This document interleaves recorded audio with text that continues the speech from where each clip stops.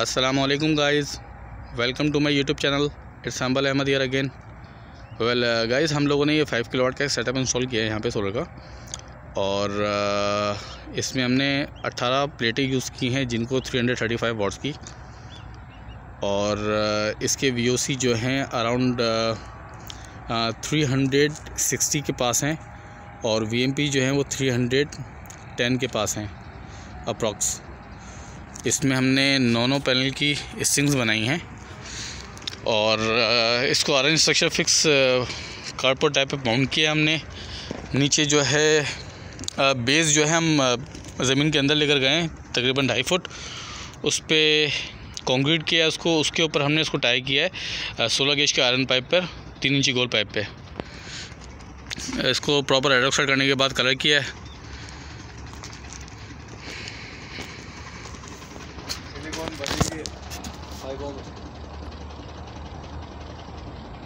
इस पर हमने 335 वॉट जिनको यूज़ किए हैं।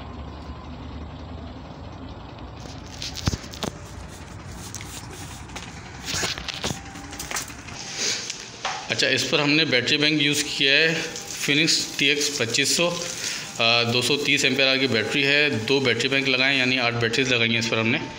और इसमें नीचे जो डीबी है हमारी, वो डीसी की डीबी है, जिसमें हमने 180 125 एम्पियर का हमने ब्रेकर लगाया बैटरी पिन के ऊपर। और Schneider I C sixty N sixty three ampere का ब्रेकर लगाया डी सी हमने थाउज़ेंड वोल्ट में पी के ऊपर।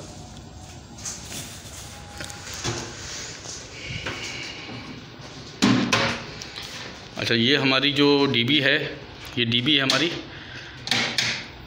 एसी की। इसमें चेंज ओवर लगाया है। सिमिलर सेटअप जो हमने लास्ट टाइम किया था क्योंकि एक साइड के ऊपर क्रेड या जेन सेट ये सेकेंड पे दे सकते हैं। फ़र्स्ट सोर्स जो है वो सोलर है।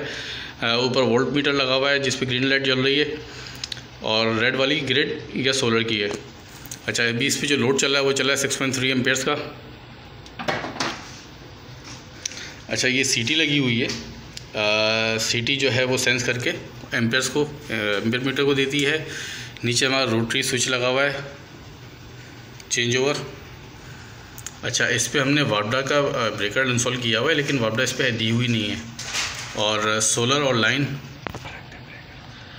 अच्छा इसमें सिक्सटी थ्री एम्पेयर का ब्रेकर लगाया हमने वापडा पे, और इस पर हमने दो लोड दिए हैं। एक तो स्मार्ट लोड दिया है हमने, जिसमें बत्तीस एम्पेयर का ब्रेकर लगाया, और एक लोड दिया है जिसपे हमने बत्तीस एम्पेयर का ब्रेकर लगाया।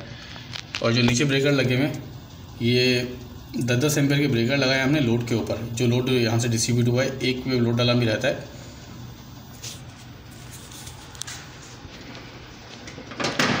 अच्छा ये हाँ इन्वर्टर इंस्टॉल किया हमने यहाँ पे नेटवर्क्स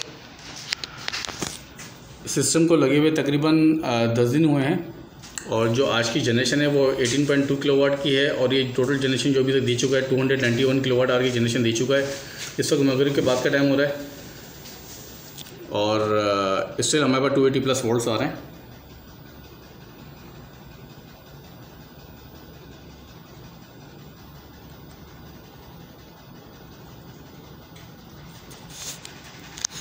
अच्छा एज़ यू कैन सी ये जो ग्राफ है, ये फाइव थाउज़ेंड वाट्स का है और जो हमारे पास पीक आवर्स में जनरेशन गई है दोपहर के बारह बजे, वो एटी फाइव नाइन्टी परसेंट के आसपास गई है।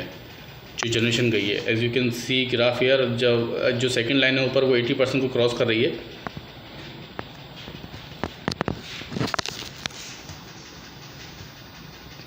और ये हमारी बैटरी की कंडीशन है इस वक्त. बैटरी रिचार्ज हो रही है. 35 फाइव से 33 थ्री से और 1.5 किलोवाट इस वक्त लोड चल रहा है. अच्छा लोड जो चला है अभी तक वो two hundred thirteen kilowatt चला है। आज जो लोड चला है सुबह से अभी तक seven point four kilowatt load चला है। ग्रिड एसेट के हमने अभी तक इसको ग्रिड कनेक्शन दिया नहीं है या जनसेट का कनेक्शन इसको अभी दिया नहीं है अभी तक।